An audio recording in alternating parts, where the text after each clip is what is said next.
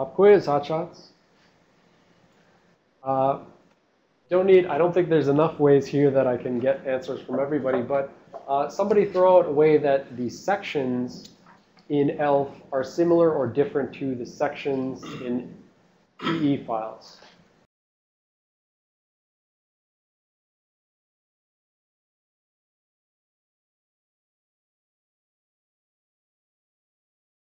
Anybody have any thoughts?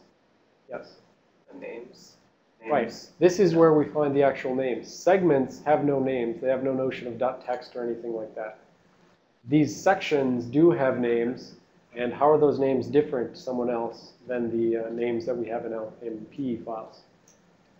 They're not constrained in eight bytes. Not just eight bytes. They're a pointer off to that string table, so they can be as big as you want, null terminated string. All right, another way that's similar or different? You were raising your hand. Um, so I was trying to map between these two. So I think SH adder similar to virtual address. Yep. SH header is similar to the virtual address in the section header. And then continuing on with that thread, what's the other one that's similar there? SH offset would be similar to pointer to raw data. Yep, exactly. SH offset would be pointer to raw data. So you've got a virtual address and a, and a pointer to raw data. They're the same sort of flags for what's writable and executable and Yep. So although the flags in the sections here, they do have that one writable flag.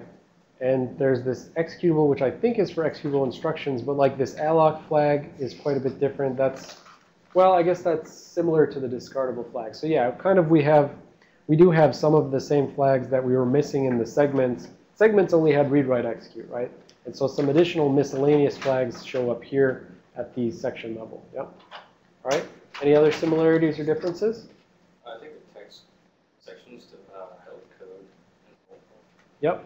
Text section held code. So, I mean, so we don't necessarily know that the text section is just set to PROGBITS, but if we went in and we dug into it, we would see they're using the same conventions for naming that they call the .text section the code stuff. Yep.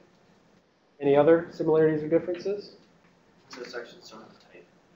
Windows sections don't have this type thing, right?